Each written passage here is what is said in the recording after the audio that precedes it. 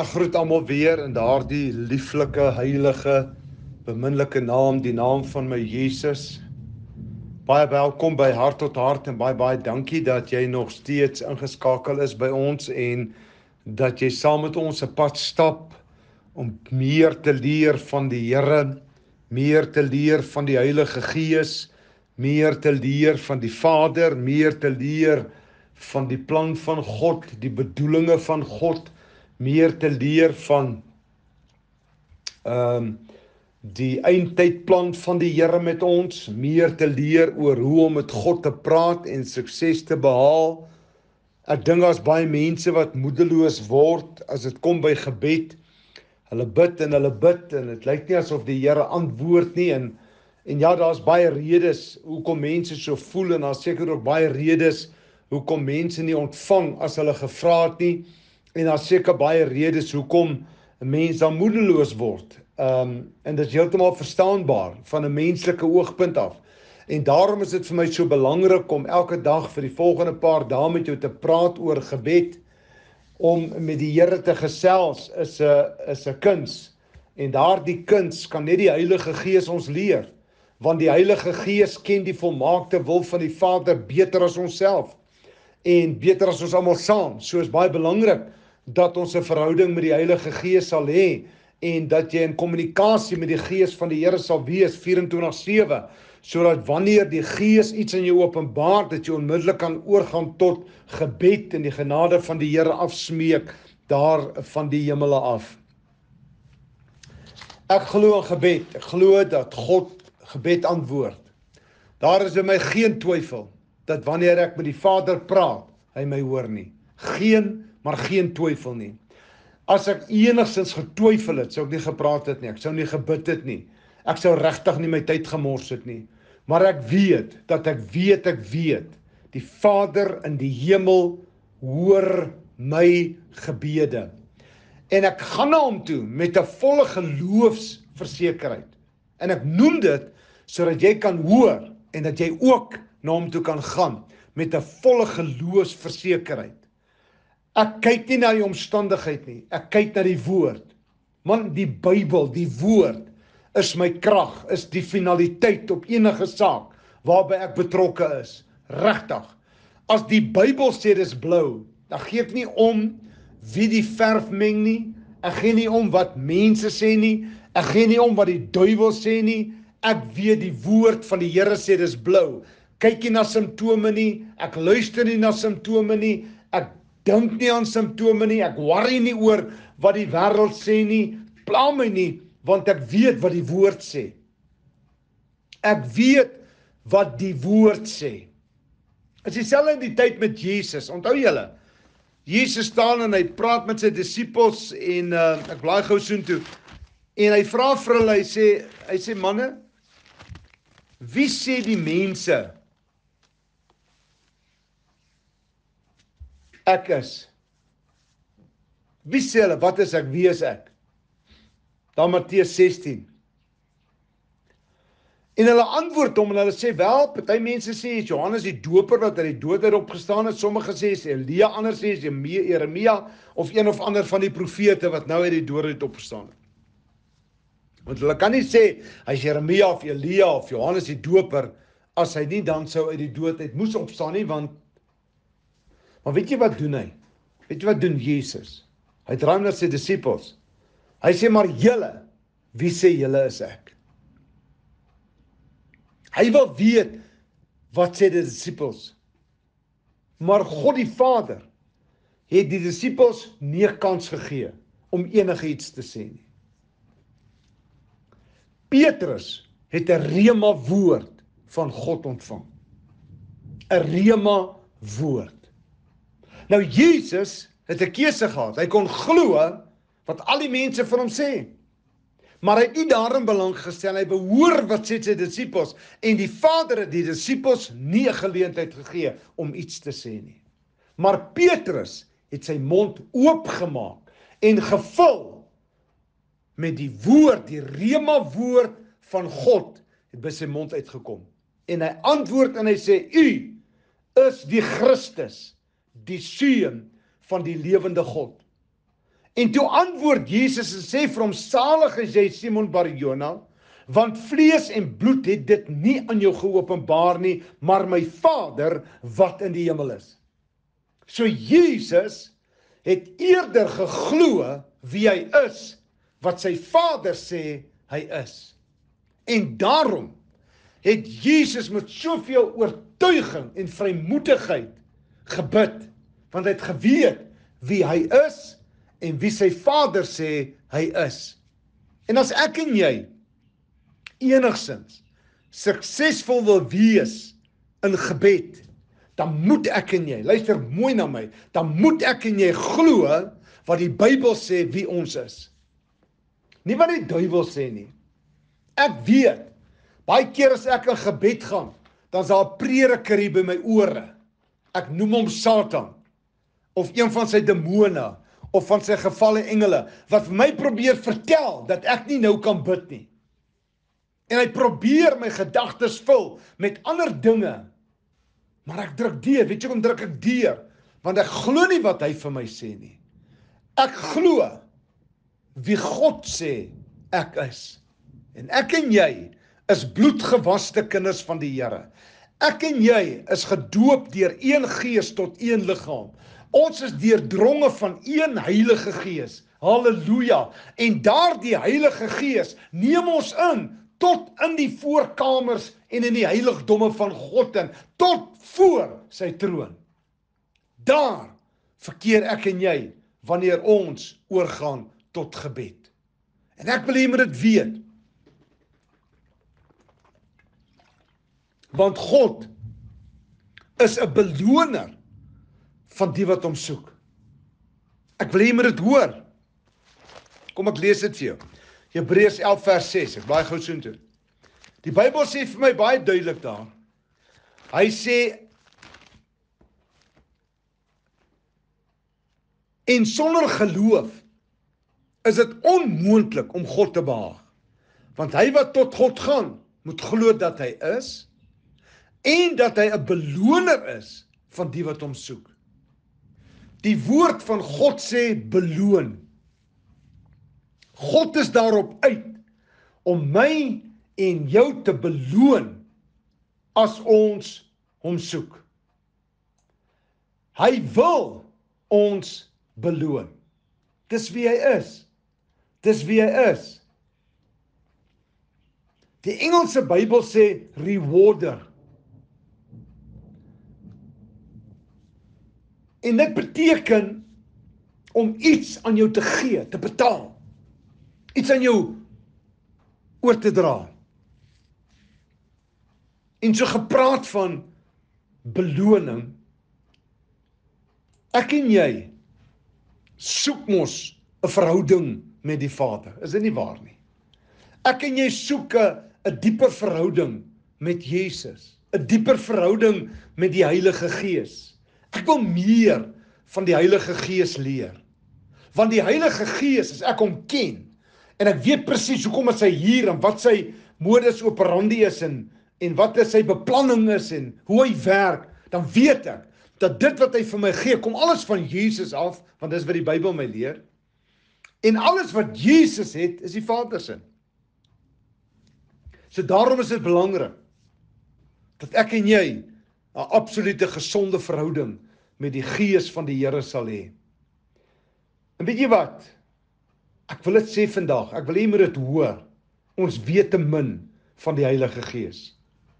Mense is te bang om hulle self oor te gee van die Heilige Gees. Bang dit meng in met jou tradisie. Bang dit meng in met wat jou predikant sê bang dit meng in met wat ouma en oupa glo. Ek dink dit is tyd dat ons eerder glo wat die woord van die Here vir ons sê. Dit wat die Bybel sê, dit wat God sê vir my is ewig die waarheid en vir jou dis ewig die waarheid. So ons moet die Heilige Gees ken. Ons moet onsself oorgee vir hom. Ons moet hom absoluut toelaat om ons lewe te vul en ons hele hart in besit te neem. Totaal en al ons wese in besit neem. En ek is so opgewonde oor hierdie verhouding tussen my en die Heilige Gees. Ek wil vir jou sê vanaand kind van die Here. Sonder die Gees is die kerk mors dood. Sonder die manifestasies van die Heilige Gees waarvoor hulle kerk toe gaan om 'n mooi uitgewerkte sielkundige boodskapetjie positiewe boodskapetjie te hoor en huis toe te gaan en dan gebeur niks in my lewe nie. Nee. Ek wil na die huis van die Here toe gaan en dan moet iets met my gebeur. As ek bedien moet daar iets met my gebeur. As ek mense bedien, moet daar iets met hulle gebeur. Ons moet die Heilige Gees toelaat in ons lewe. En dit is baie belangrik. En as ons daardie intieme verhouding met die Vader wil aanhou hê, is daar sekere dinge wat ek en jy sal moet doen. Maar voordat ek daai paar dinge vir jou noem, ehm um, ek het seker vergeet om te sê wie ek is, maar teen hierdie tyd ken julle my, maar ter wille van hulle wat my nou nog nie ken nie, ek is Prof Pieter van Wyk en ehm uh, is my voorreg om elke dag met jou te gesels. En as jy dalk vandag die eerste keer na hierdie boodskappe van ons luister, jy welkom om my te kontak en dan kan ons jou byvoeg by die groepie hart tot hart. My telefoonnommer is 072 409 1885. Ek het 3 gebedversoeke ontvang en ek wil graag hê ons moet eers gou bid voordat ons aangaan met ons bespreking.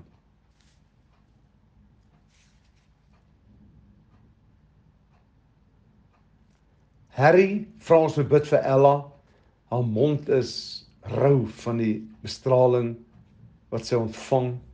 Ons gaan God vra om haar vrou gesond te maak. En Ina van Pretoria uh vra dat ons sekerlik haar pastoor, pastoor Marius, hy is ernstig siek in die intensief met uh COVID-19. En dan vra Elise Botes vir persoonlike gebed onuitgesproke versoek en dan vir Eddie dat die Here vir hom werk sal gee. Hy's 'n elektriesien of iets, maar laat die Here vir hom sal werk gee. En dan hart tot hart gaan ons mekaar bid vandag. Vader, baie dankie vir die goddelike voorreg om U te kan leer ken. Dankie vir U woord. Dankie dat U woord verklaar dat ons u seuns en dogters is. U woord verklaar ons kan bid in die naam van die enige gebore seun van die lewende God en in daardie naam sal u vir ons die hemel oopsluit. Vader, ons wil vandag bid as hart tot hart vir Harry se versoek Ella. Ons bid vir genesing in daardie liggaampie. Ons bid vir pastoor Marius daar van Pretoria dat die gees van die Here Here op die gesalfde sal neerdal en hom optel en hom genees. Hy het 'n werk om te doen. Dan bid ons vir Elise so onuitgesproke versoeke en vir Eddie Here voorsien vir daardie man werk is ons kinderlike gebed. Ons bid vir hart tot hart. Ons bid vir elke man en vrou, seun en dogter. Ons bid vir 'n geopende verstand sodat ons die woord van God kan verstaan. Help ons Here om weg te beweeg van wat mense sê en mense dink dat ons sal terugkeer na die woord van God toe. En dit wat God sê. Help ons hier by hart tot hart reg oor die wêreld, Here, en ondersteun ons met u reddende regterhand. Al die eer, die lof en die prys behoort aan ons Skepper God van nou af tot in alle ewigheid toe. En al die kinders van die Here sê amen en amen. Skiet ek nou so in die helfte begin bid en ek moes al lankal maar ek het geweet as ek nie genou gestop het om te bid nie, sou ons sekerlik nou nie amper klaar gekry het nie. Maar ons praat van intieme verhouding met God die Vader. God die Seun en God die Heilige Gees. Ons praat oor 'n verhouding. Ons praat oor gebed. Van deur middel van gebed sal God werk in ons lewens en rondom ons. Ons moet leer om die beperking van God af te haal. God is groter as enige probleem wat ek en jy in die gesig staar.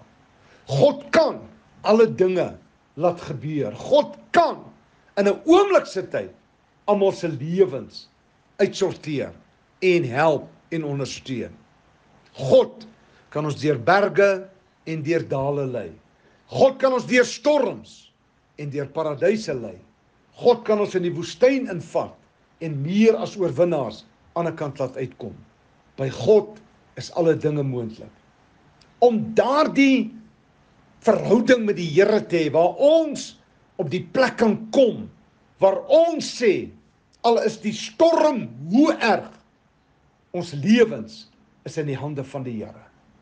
Al sê die mense wat van ons, ons lewens is in die hande van die Here. Al doen mense en die duiwels en demone wat ook al aan ons. Ons hand, ons lewe is in die hande van die Here. Dit maak nie saak waar ons beweeg nie. Ons lewe is in die hande van die Here. Dit maak nie saak waar ons sit vanaand nie. Ons lewe is in die hande van die Here. Ek het hierdie vertroue in God dat as ek my pad loop en ek tref 'n woestyn en ek moet daar deur, weet God sal my ook daardeur lei. As ek op 'n plek kom en ek sien die berg is te hoog, gaan ek net afkyk na die grond toe en begin klim, want ek weet God is aan die ander kant wagtend en hy sal my oor daardie berg ook kry. Inteendeel, hy het my opdrag gegee om die berg te beveel om te skuif. So wat ek probeer sê is dat hoe meer jy in kontak kom met die Here, hoe sterker raak jou verhouding en hoe meer weet jy dat jy veilig is in die hande van die Here. As jy kyk na verhoudings op aarde, 'n man of 'n vrou wil veilig voel met die persoon wat hulle hulle lewe aan toevertrou het. Dis een van die die sleutels tot 'n goeie huwelik en 'n goeie verhouding is vertroue. Ek moet veilig voel in my eie huis. Ek moet daar enigiets kan deel sonder om veroordeel te word en vertrap te word en weggejaag te word. Daar kom 'n plek in 'n mens se lewe in 'n tyd waar jy wil net sit en veilig wees. En hoe meer en hoe langer jy in 'n verhouding is, in 'n huwelikverhouding of 'n verloving of wat ook al, dan raak 'n mens al hoe meer gemakliker in die verhouding want jy weet jy's veilig. Jy kan sekere dinge afskud en sekere dinge van jouself nou wys verander want jy voel veilig.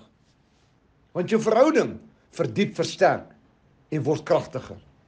So ook met die Here. Hoe meer ons in sy teenwoordigheid verkeer, hoe meer ons alleen met hom tyd spandeer, hoe sterker word hierdie verhouding. En hoe sterker hierdie verhouding word, hoe veiliger gaan ons voel van ons weet die een wat ons God is, hy is in beheer. Hy is in beheer. En nou voel ek veilig. My verhouding is sterk. As daar 'n krisis kom, my God sal my nie begewe en my nie verlaat nie, want ek het hierdie verhouding met hom. As daar dinge in my lewe gebeur, ek weet ek gaan dit maak want my God en ek het 'n verhouding en hy by hom is ek veilig. Sy naam is 'n sterk toring en die regverdige hardloop daarin en word beskud. So daarom is dit belangrik dat ek en jy intieme verhouding met ons Vader sal hê deur die Heilige Gees. Want ek wil ek het genoem gestaan van so vier dinge wat ek met jou graag wil deel. Ek gaan nou oor die eerste ding praat en dan lyk dit vir my as die tyd alweer op. God wil dat ek en jy 'n binnekamer moet hê. 'n Plek van afsondering waar net ek en jy met hom tyd spandeer. Niemand anders dan nie. Net jy en die Vader. Niemand anders te nie. Dis daai plek wat ons gaan afstof het gister. En gaan skoonmaak het en weer regkry het vir daardie plek. Dat die binnekamer kan ook 'n boom wees waaronder jy bid. 'n Bergkoppie. 'n Vallei. 'n Weggesteekte kamer. Daar in jou huis. Ergens in die kerk. Maak nie saak waar nie. Maar jy daai spesiale plekkie. En daar's 'n rede hoekom ek nou nou met jou begin praat het oor Hebreërs 11 vers 6. Kom ons lees Matteus 6 vers 6. Maar jy wanneer jy bid, gaan in jou binnekamer. Jesus aanvaar dat die mense waarmee hy praat is bidders. Daarom sê hy vir hulle wanneer jy bid, gaan in jou binnekamer, sluit jou deur en bid jou Vader wat in die verborgene is. Bid jou Vader wat in die verborgene is. En jou Vader wat in die verborgene is, sal jou in die openbaar vergelde. Nou die woordjie vergelde is 'n werkwoord in die Afrikaanse taal. Of vergeld, dit's 'n werkwoord. En dit beteken beloon, betaal en vergoed beloon, betaal en vergoed. Nou kom ons kyk net weer die belangrikheid van hierdie vers uit die mond van Jesus. Maar wanneer jy gaan bid, gaan in jou binnekamer. Gaan sluit jouself toe. Laat net jy en die Vader weet waaroor jy bid. Of jy bid tot hom. Dat net jy en hy, natuurlik die Heilige Gees en die seun is saam. Maar laat net julle weet waaroor gebid word in die geheim. Daardie wonderlike verhouding, daardie intieme verhouding na een kant, daar waar jy jou hart alles kan uitstort en niks hoef terug te hou nie, want daar's niemand om jou wat gaan hoor hoe jy jou hart skoon maak voor die Almagtige nie. En dan maak jy hart skoon. En dan praat jy met die Vader Jy praat met die Vader oor Pieter van Wyk. Jy praat met die Vader oor jou gade. Jy praat met die Vader oor hart tot hart. Jy praat met die Vader oor baie dinge. En jy praat met die Vader met jouself. Oor jouself. En dis daar in daardie binnekamer waar jy nie meer weet reg wat om te bid nie. Waar die Heilige Gees kom en deur jou intree vir al die heiliges. Jesus aanvaar in hierdie skrif dat ek en jy het so 'n plek. Daarom sê hy, gaan na jou binnekamer.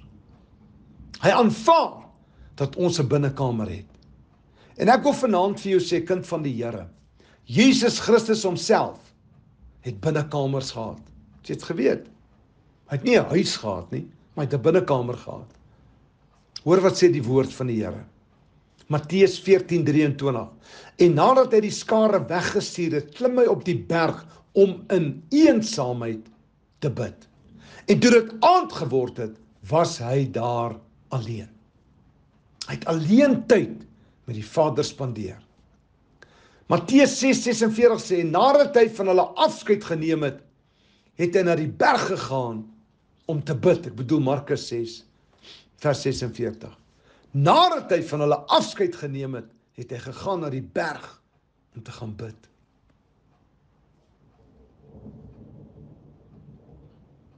Die Bybel sê